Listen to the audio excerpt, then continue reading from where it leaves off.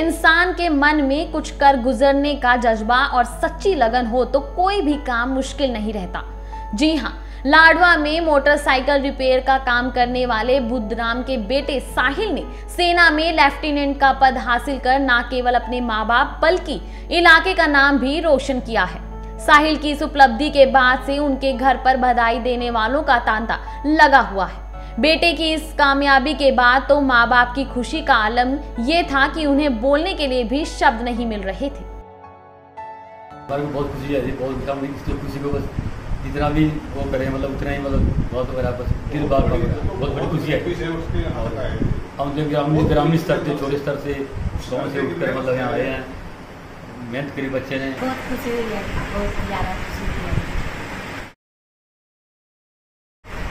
मैं यही कहूँगी कि माता पिता को और उनके बच्चे जब अपने पाँव पे खड़े होते हैं और अपने पिता का और अपने देश का नाम रोशन करते हैं तो बड़ी खुशी मिलती है माता पिता को।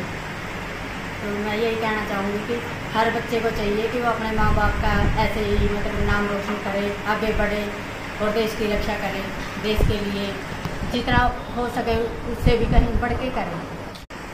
मैं बहुत खुश हूँ कि मेरा भाई आर्मी में लेफ्टिनेंट भर्ती हुआ और अब उनकी ड्यूटी पठानकोट में आई है।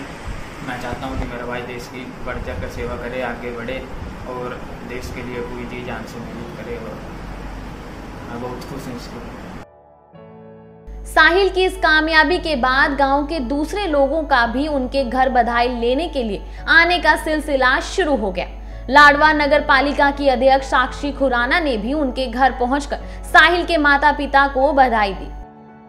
मैं युवाओं को यही संदेश देना चाहूँगी जैसे साहिल बेटे ने इतना बड़ा काम किया देश के लिए और इतना होनार होके इस काबिल पहुँचा है। कर्नल बने भगवान कर, मैं प्रार्थना करती हूँ भगवान से सब बच्चों ऐसे ही आगे बढ़ते रहे और दुआएँ करूँगी कि जल्द से जल्द और भी कामयाब बच्चा आए जो लाडवा से होनार होके निकले।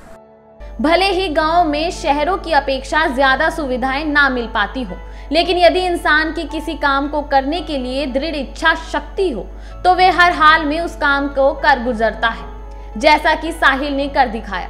फ़िलहाल भारत नाइन परिवार की ओर से भी साहिल और उसके परिवार को बहुत बहुत बधाई। भारत नाइन के लिए कुरुक्षेत्र से दर्शन कैद की रिपोर्ट।